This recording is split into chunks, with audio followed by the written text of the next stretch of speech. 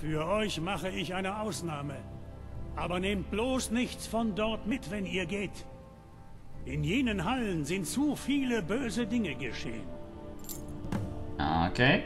Vielen Dank, ich werde es im Hinterkopf behalten. Anytime, friend. Na gut, dann schauen wir Pelagius. Pelar, wo ist der überhaupt, dieser Pelagius-Flügel? Das hier ist die Küche. Ich meine, wenn es ein ganzer Flügel ist, wird wohl von der Haupthalle irgendwo der Eingang weggehen. Sollte man meinen, hier ist nichts. Das ist eine Regel. Oh, hier ist ein Gemach. Entschuldigung, bitte. Oh, wie eine nette Fischkugel. Ähm. Ich meine, ich habe die Wolfschödelhöhle für euch ge gesichert und wenn der hier so einsam steht, wir haben ein schönes großes Becken gleich neben meinem Museum. Ich glaube, da ist er besser aufgehoben. Scheint niemand zu widersprechen. Ich nehme ihn jetzt einfach mit. Oh, hallo. Ich räume gerade etwas auf. Ja, ich gehe gerade etwas in den Pelagius-Flügel. Wollen wir tauschen?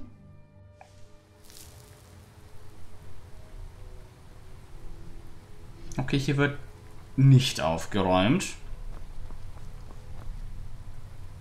Oh. Besondere Jahrgänge. Oh, und was ist das? Ein, ein lila Schmetterling im...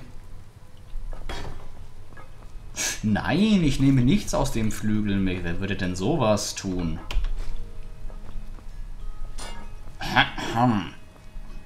Was soll man da machen? Man kann das doch nicht. Man kann das doch nicht einfach ungenommen lassen. Hier, ich meine, das ganze Silbergeschirr, das ist viel wert und würde mir wahrscheinlich viel helfen, aber das, das lasse ich gerne stehen. Aber bei besonderen Jahrgängen und Museumsgegenständen, wie kann ich denn da wieder stehen? Also... Noch etwas Tee, mein lieber Pelly? Ich hätte nichts mitnehmen sollen. Ach nein, wirklich nicht. Das ist an mir vorbeigegangen. Außerdem habe ich noch so viel zu tun. So viele unerwünschte Personen, mit denen ich klarkommen muss. Neinsager, Idioten, Kritiker. Mein Scharfrichter hat drei Tage lang nicht geschlafen. Tch, tch. Ihr geht viel zu hart mit euch ins Gericht, mein lieber krankhaft wahnsinniger Pelagius. Was würden die Leute nur ohne euch tun? Tanzen, singen, lächeln, alt werden? Ihr seid der beste Septim, der jemals geherrscht hat. Außer vielleicht diesem Martin-Burschen. Aber der hat sich ja in einen Drachengott verwandelt. Und das ist nicht gerade nett. Wisst ihr, ich habe die ganze elende Angelegenheit miterlebt. Einfach fabelhaft. Schmetterlinge, Blut, ein Fuchs, ein abgetrennter Kopf und oh, und der Käse zum Sterben gut. Ja, ja, wie ihr schon unzählige Male gesagt habt. Ha, Rumpf. Nun denn, wenn ihr unbedingt so sein wollt, vielleicht gehe ich dann besser. Schönen Tag noch, Sir. Ich sagte, schönen Tag noch. Ja, ja, geht. Überlasst mich meinen endlosen Pflichten und Aufgaben. Und wo sind wir denn jetzt schon wieder hineingeraten? Hallo? Wie unhöflich. Ist sich zu fein, einen alten Freund ein oder zwei Jahrzehnte lang unterzubringen. Ja, ich will nicht unhöflich sein und dieses schöne Bankett unterbrechen, aber ihr habt es auch schon selber unterbrochen und, ähm, traue ich mich zu fragen, wo wir hier sind? In der Psyche von Pelagius, Dummchen. Aha, Ah, ist es euer erstes Mal? könnte man so sagen. Ähm, dann war das der tote Kaiser Pelagius. Ihr Sterblichen und eure selbstmörderische Neugier. Aber wenn ihr es unbedingt wissen müsst, es war Pelagius, äh, der wahnsinnige äh, Kaiser von Tamriel, äh, vor 400 Jahren? Nein? Ihr wisst doch sicherlich von Pelagius Erlass. Auf dem Sterbebett, und das war wirklich brillant, verbat er den Tod. Ganz recht, der Tod geächtet. Ähm, aber er war gerade hier. Hat das, heißt es, hat funktioniert oder sind wir woanders? Ich bin eigentlich nur hier, um eine Nachricht zu übermitteln. Wirklich? Oh, oh, was für eine Botschaft ist es? Ein Lied? Eine Beschwörung? Äh, Moment, ich weiß es. Eine in den Rücken einer argonischen Konkubine eingeritzte Todesdrohung. Die mag ich am liebsten. Und heraus damit, Sterblicher. Ich habe keine Ewigkeitszeit. Eigentlich äh, habe ich sie doch. Kleiner Scherz. Aber im Ernst, wie lautet die Botschaft? Ihr habt eine Ewigkeit Zeit. Wir hatten es gerade mit Verrückten zu tun. Jede Menge Käse und all der Wahnsinn, den ich gerade mitbekommen habe. Ich, ich habe es eigentlich schon vermutet gehabt, aber ich wollte, ich, ich wollte. Erst Mara? Gegen nicht unbedingt was dagegen habt, aber der, Auftrag, den sie mir eventuell erteilt hat, scheint gefährlich und mysteriös zu sein. Dann die ganze Drachengeschichte und das ist jetzt auch noch Shiogorat. Ähm, das war wahrscheinlich ein Fehler, aber ich soll euch aus einem eurem ähm, Urlaub zurückholen. Ach, wirklich? Von wem? Moment, sagt nichts. Ich will es erraten. War es Molak? Nein, nein, äh, der kleine Tim, der Sohn des Spielzeugmachers. Der Geist von König Lysandus? Oder war es, äh, ja, Stanley, die plappernde Pampelmuse aus Passwall? Ich liege komplett daneben, nicht wahr? Was soll's? Ehrlich gesagt will ich es gar nicht wissen. Warum die Überraschung verderben? Aber zur Sache. Glaubt ihr mickriger, kleiner, entbehrlicher Sterblicher wirklich, ihr könnt mich zum Gehen bewegen? Denn das ist nun wirklich verrückt. Euch ist doch klar, mit wem ihr es hier zu tun habt. Und wenn ich bitte sagt, ihr seid auf jeden Fall, ich glaube, ihr seid nicht nur ein Verrückter, ihr seid der Verrückte. Ziemlich gut geraten. Aber leider nicht ganz richtig. Ich bin ein wahnsinniger Mhm. Gott. Der wahnsinnige Gott, um genau zu sein, ist ein Familientitel. Ich reiche ihn alle tausend Jahre an mich selbst weiter. Nun zu euch. Ihr dürft mich Annemarie nennen. Aber nur, wenn ihr gerne bei lebendigem Leib gehäutet werdet und einen wütenden Unsterblichen mit euren Gedärmen Seil springen lasst. Falls nicht, nennt ihr mich Sheogorath, den dädrischen Prinzen des Wahnsinns. Ja, ich würde auch vorschlagen, dass wir die Sache mit den Gedärmen überspringen. Ähm, geht ihr jetzt? Darf ich gehen? Das ist doch die eigentliche Frage, nicht? Seien wir mal ehrlich, wie viel Müßiggang braucht ein wahnsinniger Dädra denn wirklich? Also, ich werde Folgendes tun. Ich gehe. Ganz richtig, ich bin hier fertig. Das Nichtstun hat ein Ende. Der schnöde Alltag ruft mich. Unter einer Bedingung. Ihr müsst zuerst einen Weg nach draußen finden. Viel Glück dabei. Eine Bedingung von einem Dädra-Fürsten und so fängt es also an. Wo ist der Haken? Ha, ich liebe es, wenn Sterbliche wissen, dass sie manipuliert werden. Das macht alles gleich viel interessanter. Möchtet ihr euch etwas umsehen? Ich darf wohl sagen, dass das hier nicht die botanischen Gärten von Einsamkeit sind. Habt ihr überhaupt eine Ahnung, wo ihr seid? Wo ihr wirklich seid? Willkommen in der trügerisch grünenden Psyche von Kaiser Pelagius dem Dritten. Ganz recht, ihr seid im Kopf eines toten, gemeingefährlich verrückten Monarchen. ihr denkt jetzt sicher, kann ich mich immer noch auf meine Schwerter, Zauber, das Schleichen und ähnlichen Unsinn verlassen? Gewiss doch. Aber wie wäre es denn mit äh, dem Wabajak? Na, na, das habt ihr nicht kommen sehen, oder? Ähm. Okay. Ich weiß, mein Selbsthaltungstrieb sollte eigentlich Vorrang haben, aber ich muss fragen. Darf ich den mitnehmen, wenn ich hier rauskomme? Ich habe da so ein Ich Museum. muss doch sehr bitten. Ich tanze gerade das Fischstäbchen. Ein äußerst schmackhafter Gemütszustand. Okay. Meinen Weg hier rausfinden, ha? Ich sehe gerade drei. Nun, das ist eine traurige Geschichte. Pelagius hasste und fürchtete viele Dinge. Attentäter, wilde Hunde, die Untoten, Pumpernickel. Der tiefste, erbittertste Hass galt aber ihm selbst.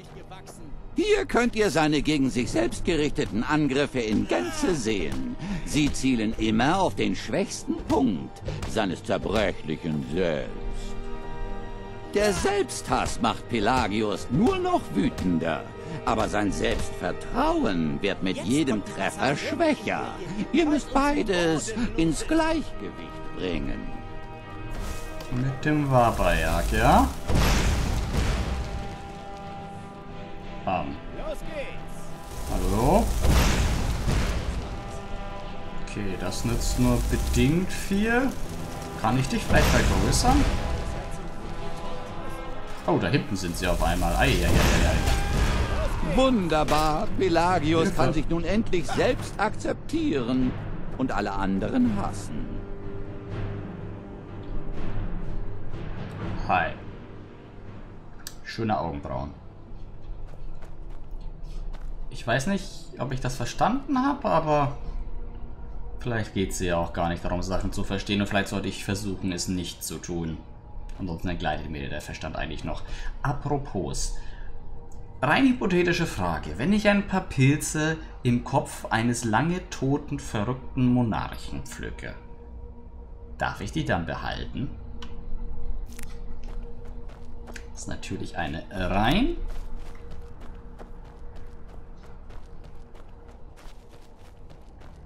hypothetische Frage.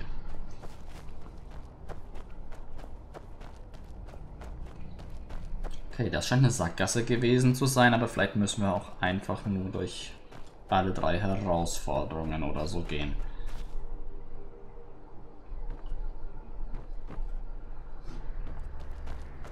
Ich bin vielleicht lootsüchtig, aber ich bin auch nicht so lootsüchtig, dass ich direkt vor der Nase des Gottes Wahnsinns anfange, sein Geschirr und seine Oh, Sachen eine zu gute Wahl. Gut für mich jedenfalls. Es amüsiert mich köstlich, dass alle hinter euch her sind. Euch wahrscheinlich weniger. Wisst ihr, Pelagius Mutter war, nun, sagen wir mal, einzigartig. Obwohl sie im Großen und Ganzen für eine Septim schon ziemlich normal war. Diese Frau schwang die Furcht wie ein Hackebeil. Oder schwang sie das Hackebeil und hat den Leuten damit Angst gemacht? Bringt immer durcheinander. Oh, aber sie hat ihren Sohn viel gelehrt. Pelagius lernte schon früh, dass Gefahren überall lauern können. Jederzeit, jeder Gestalt. Das Ziel ist denkbar einfach, ihr Einfallspinsel. Benutzt euren Babajak, um den Feind zu besiegen, während der dasselbe tut. Okay. Ähm. Passiert da überhaupt was?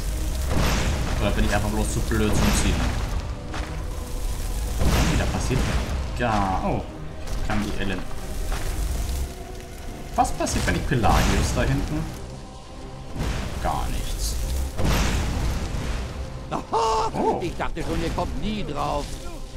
Ohne die Bedrohung lebt Pelagius in eingebildeter Sicherheit. Also habt ihr ihm geholfen. Irgendwie. Wir sind der Heimat ein gutes Stück näher gekommen. Na gut, ich werde mich nicht darüber beschweren. Au. Ja, irgendwas an der Luft hier ist auch nicht ganz so bekömmlich. War da nicht gerade noch? Ich meinte, ich hätte irgendwas Rotes dazwischen hervorlugen sehen, zwischen diesen Felsen. Ja, das ist kein gutes Zeichen. Es ist kein gutes Zeichen, wenn es tatsächlich da war und wenn es nicht da war und ich es mir nur eingebildet habe, ist es ein noch schlechteres Zeichen. Ihr wandelt nun auf dem Pfad der Träume. Yay. Zu eurem Pech leidet Pelagius schon seit jungen Jahren an Nachtangst. Ihr müsst nur etwas finden, mit dem ihr unseren armen Pelagius aufwecken könnt. Seine Ängste sind leicht abzuwehren, aber hartnäckig. Das Aufwecken ist eigentlich kein Problem. Ich bezweifle, dass das so einfach wird. Ähm. Nein. Hey, was kannst du nochmal? Ihr habt euch eine schlechte Zeit zum Verlaufen ausgesucht. Wow, oh, wow, wow, wow, wow, wow. das war jetzt Ziegel in der Hallo? Was zum Wo? Au! Aua! Das hat wehgetan. Verdammter Hexenrabe. Flammenatro nach. Hm, Das ging daneben. Ah, Das kann ja was werden. Ich bin fast tot. Oh nein, oh nein, oh nein, oh nein, oh nein. Oh nein. Na, wenn das mal keine gute Nachricht ist. Pelagius ist auf den Beinen. Also kann es weitergehen. Wir werden beide schon bald zu Hause sein. Wenn ich nicht bald tot bin. Und ich frage mich, ob ich zurückkehren würde, wenn ich in dieser Welt das Zeitliche segne. Ganz ehrlich, ich bin nicht erpicht darauf, es herauszufinden. Ich kann mir schönere Orte vorstellen, die Ewigkeit zu verbringen. Ähm. Ich Was sage das? immer, ich werde wohl nicht spüren, was euch gefallen muss. Oder so etwas in der Art. Aha. Nun, wir haben Pelagius äh, geheilt. Hm, das ist ein sehr subjektiver Begriff. Behandelt klingt doch viel passender, meint ihr nicht? So wie man es mit einem Ausschlag oder einem Pfeil im Kopf tut. Aber nun gut, ihr seid zwar ein herzloser Sterblicher, habt es aber tatsächlich geschafft. Ihr habt überlebt. Ich werde meinen Teil der Abmachung einhalten müssen. Also, herzlichen Glückwunsch, ihr könnt gehen. Ich bin natürlich für meine Sinneswandel bekannt. Also geht, jetzt. Ihr kehrt zu eurem Volk zurück? Pelagius Septim III., einstmals wahnsinniger Kaiser von Tamriel, heute so langweilig vernünftig. Ich wusste immer, dass er es in sich hatte. Dann heißt es wohl zurück zu den zitternden Inseln. Der Ärger, den Haskell sich in meiner Abwesenheit einbrocken kann, einfach unglaublich. Haben wir auch ganz sicher alles dabei? Kleidung? Ja. Bad? Ja. Gepäck? Gepäck. Wo habe ich nur wieder mein Gepäck gelassen? Wow. Meister, ihr habt mich zurückgenommen. Bedeutet das, dass wir nach Hause gehen? Ach, wie schön. Ich kann es gar nicht erwarten, endlich. Ja, ja, genug gejubelt. Warum schicken wir euch nicht voraus, hm? Und nun zu euch, mein kleiner sterblicher Scherge. Den Wabajak könnt ihr gern behalten, als Zeichen meiner... Ach, jetzt nehmt das verfluchte Ding schon. Passt gut auf euch auf, ja? Und solltet ihr jemals in Neuscheot sein, kommt mich besuchen. Dann essen wir zusammen eine Erdbeertorte. Tschüsschen!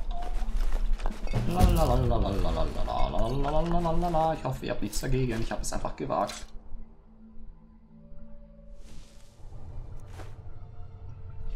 Follow the Daedric Prince Sheogorath. Sheogorath, the Mad God, is the Prince of Madness, whose motives are fickle and unknown. Follower. Pray to receive a random touch of madness. Tenets. Pray often and receive Sheogorath's touch of madness. Never disrespect cheese. Es, wäre es mit Nein? Ich, ich bin froh genug, dass ich da jetzt lebend rausgekommen bin. Ich glaube nicht, dass ich unbedingt Sheogorath folgen möchte.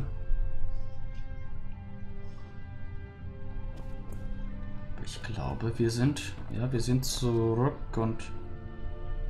Schreien auf Sheogorath.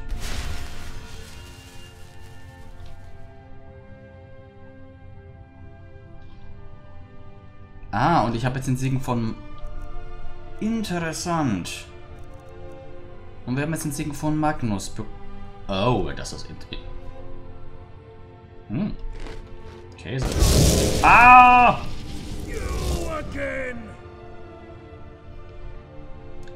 Oh nein.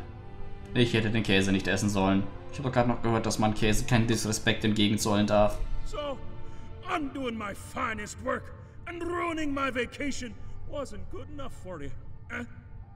You just couldn't stop at that, no. You had to try and starve me out. Oh, what would I tell my poor, hungry children? If I had any. you know, I've been thinking of asking Hircine to whip up another one of those were Datrons. They're awfully cuddly. But anyway, you! What could have possibly possessed you to consume the most profane cheese of the mad god Oh, der ist er Sheodora? I was saving it for later. Do you feel proud of yourself? Do you feel tingly? Well, well, I'm afraid I just can't let this slide. A transgression of this magnitude against a Daedric prince can't simply be ignored. What would the other princes think if I just allowed puny, little mortals to masticate my most prized artifacts? I'd get uninvited to all our parties. Although, technically speaking, I already am uninvited to all our parties. I just show up anyway. now, prepare yourself, little mortal, for the retribution of an eternity! Tremble in fear, for you have invoked the creative mind of Sheogorath, Daedric Prince of Madness. Are you quaking in your boots? Hmm? Well, are you quaking? War, ich, ich, ich, ich, es war nicht wirklich meine Absicht, diesen Käse zu essen. Oh, come on now. I'm taking time out of my very busy schedule to personally smite you. You know, I could have just gotten the flesh not to come over and shove your spleen into your earlobe and dip a biscuit in the juices. I'm being considerate. The very least you could do is pillow in your socks. Es, ich meine, es tut mir wirklich leid. Ich, ähm, ich habe einfach nicht nachgedacht mit dem Käse. So, sarcasm. Nein, wirklich nicht. Well, little Martin, you may have eaten dragon souls but oh, you'd been off more than you could chew when you ate another man's cheese. And you know what I think? I think the punishment should befit the crime. If you love cheese so much, why don't you marry it? Wait, no, no. I think that's still illegal. Oh, I've got it. Yes! If you love cheese so much, then why don't you bring me all of it? Each and every single specimen of cheese in Skyrim. What? You didn't think there was only two kinds of cheese in all of Skyrim, did you? two kinds of cheese? now, I know what you're thinking. Oh, silly old Uncle Sheo. I don't really need to collect every kind of cheese in Skyrim. I'll just go on my merry little way once you let me out of here. And you'll forget this conversation ever happened while picking my cheese out of your teeth. But I know your type. You want to complete every challenge, get every trophy you can lay your little mortal hands on, and spend every moment in this world doing everything it has to offer you. That's why I'll tell you this. If you manage to collect one of every type of cheese and bring them back to me, I'll give you a deadly Daedric artifact. Ha! Try sleeping at night next to that cold, empty space in your bed. A deadly Daedric artifact would be, if you'd only gotten it. Now, get your patty cakes out of here and go find some cheese! Ha ha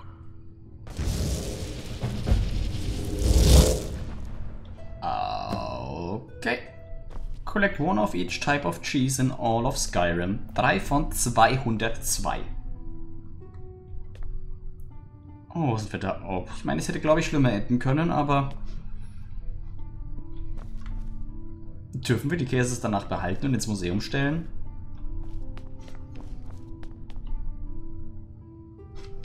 Er hat mich viel zu gut durchschaut.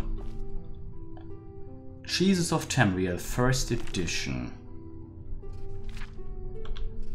An exploration of the cheeses of Tamriel, okay.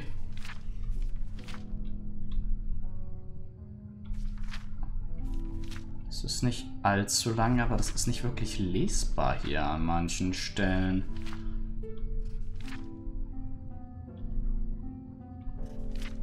The first thing you taste is the dust. Abandoned for a hundred years or more, the cheese has developed several fine coats of it, each a different, distinct vintage. Faint hints of wet goat and undertones of fetid swamp suggest the cheese came from a farm somewhere along the Hjalmar-Scharfinger border. The outermost layers are hard and dry. You feel a tooth crack somewhere in the back of your mouth. Time has long since leached the natural odor from the surface, but as you bite down, the core releases a scent so pungent your eyes water. Gagging, you swallow it all. Okay. Ich hätte mal gedacht, Käse sei noch die harmloseste Seite von Shiogorath, aber I stand corrected. Ist hier ansonsten noch irgendwas? Thief of Word. Oh, und ein Amulett Wabaya. Ein Wabaya-Amulett. Was macht das denn? Allows you to cast the spell Wabayak. Genau, und was haben wir ansonsten noch hier? Wir haben den Wabayak an sich gefunden. Also nicht gefunden, er wurde uns übergeben. Transform the target into a random creature for 30 seconds. Nun, wir wissen jetzt aber auf jeden Fall, warum der Pelagios Flügel abgesperrt war und ich glaube, er sollte auch erstmal abgesperrt bleiben. Schnell raus hier.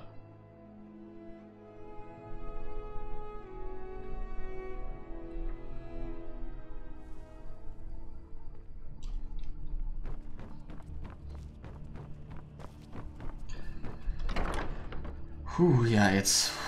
Was tun wir jetzt? Ähm, wo könnte man Käse besorgen? Ich meine, die offensichtlichste Antwort ist die Taverne.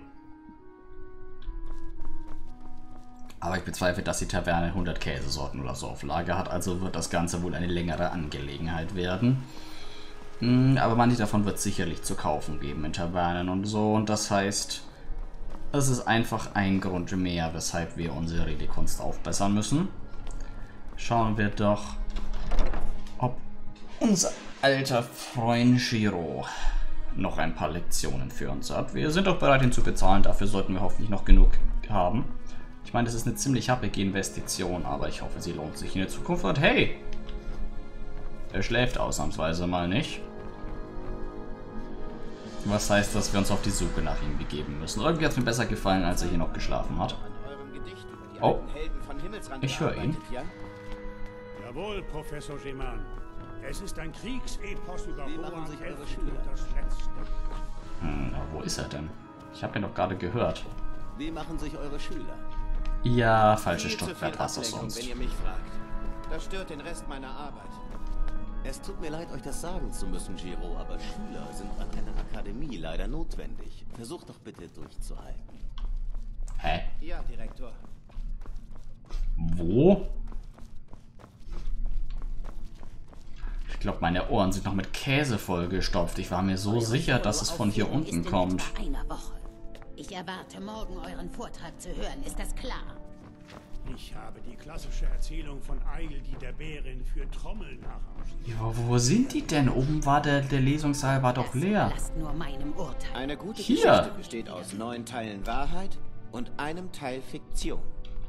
Die meisten von denen Ja, meine Ohren sind auch nicht mehr das, was sie mal waren, ha?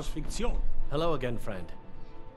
Ich würde gern Sprache trainieren. Nun, dann seid ihr am rechten Ort.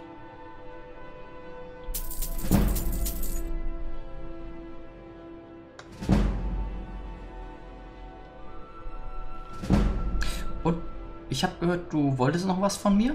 Rions Trommel. Niemand wusste, wo er starb. Folglich wusste auch niemand, wo seine Trommel sein könnte. Haldir war das fehlende Glied. Rion muss sich insgeheim Zutritt zu Haldirs Grab verschafft haben und ist dort vermutlich gestorben. Jetzt muss ich nur noch jemanden finden, der die Trommel für mich holt. Moment. Ihr. Ihr könntet das doch tun. Ähm, wer war Jorn überhaupt und was hat's mit der Trommel auf sich? Ihr scherzt, oder? Rion? Der berühmteste Kampftrommler der zweiten Ära? Nun, zumindest in Badenkreisen berühmt. Diese Trommel kam in einem halben Dutzend berühmter Schlachten zum Einsatz. Sie ist ein Artefakt von unschätzbarem Wert. Rion war ständig auf der Suche nach neuen Geschichten. Wie es scheint, schrieb er vor seinem Verschwinden eine Ballade über Haldir. Das war der fehlende Hinweis.